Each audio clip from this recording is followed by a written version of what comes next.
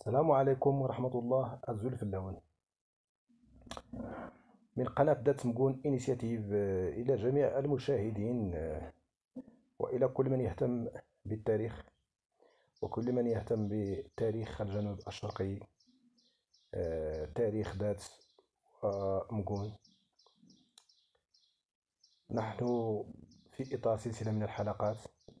التي أعددتها على قناة دادس مكون Initiative في إطار تعريف بتاريخ دادس الكبير. هذه الحلقة تناولت من خلالها آه، ملاح تيليت كنموذج آه، للتعايش السلمي بين الأهالي واليهود. وتناولت في الحلقات السابقة التقاليد والعادات كما تناولت الحياة السوسيو اقتصادية والحياة السوسيو اجتماعية كذلك. وتناولت في بعض الحلقات كذلك آه، التركيبة الاجتماعية للسكان آنذاك. إذا آه، كما تناولت المجال الديني. الآن في هذه الحلقة سنعرج إلى تحول سوسيو مجالي كبير جدا وهو هجرة اليهود من تيليت آه هذه الهجرة بسلبياتها وإيجابياتها.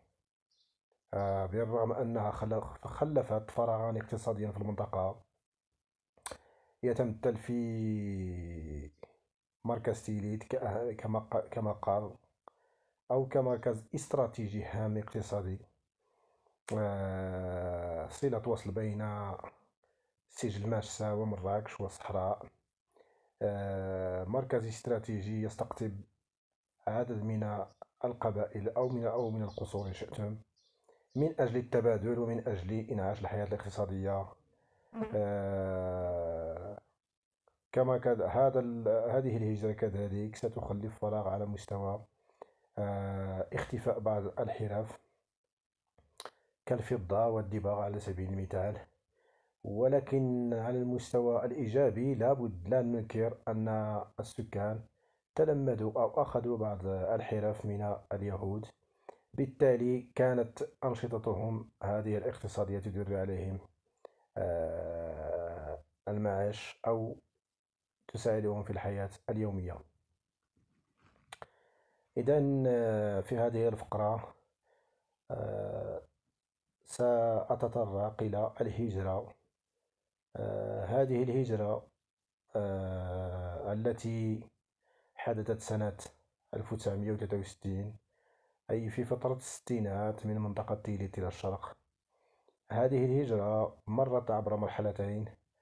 مرحلة الأولى آه، كانت آه، هي إرسال كل الممتلكات التي يملكها اليهود من التجهيزات المنزلية والمهنية كما أن هناك من باع ممتلكاتهم للسكان بأثمان راخصة.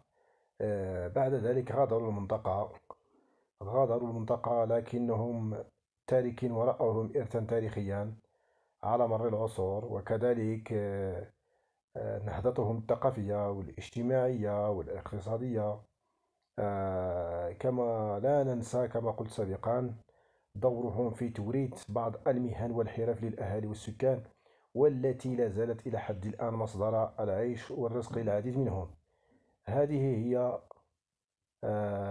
هذا هو الإجمال هذا هو ما أريد قوله فكرة عامة عن الوضع آه، بعد الهجرة وقبلها. إذا في الحلقات القادمة من أجل استمرارية في النبش في هذا التاريخ يسرني ويسعدني أن أعرض عليكم الحياة الاجتماعية والسياسية في قصر تيليت آه، والتي اتسمت بنوع من الحكمة والرزانة و آه، قوانين تنظيمية على شكل أعراف. لابد أنها شكلت العمود الفقري لتسيير جميع القصور في الجنوب الشرقي. إذا شكرا على اهتمامكم آه، وتحية. آه، لا تنسوا الاشتراك في هذه القناة. آه، من أجل دعم هذه الأعمال ومن أجل التوثيق ومن أجل إعادة إحياء تاريخ هذه المنطقة العزيزة من بلادنا. تحياتي للجميع وشكرا لكم. أتمنى أن نكون أن أكون قد وفيت بعملي هذا للتنوير ومن أجل تبادل الآراء. لكن تبقى تدخلاتكم وتعاليقكم مهمة بالنسبة لنا من أجل تبادل آه، المعلومات. تحياتي لكم من قناة ذات نقول إنيسياتيف شكرا على كل من علق على الأشرطة السابقة وكذلك كل من وجهنا من أجل إنجاح هذا العمل. تحياتي. شكرا لكم.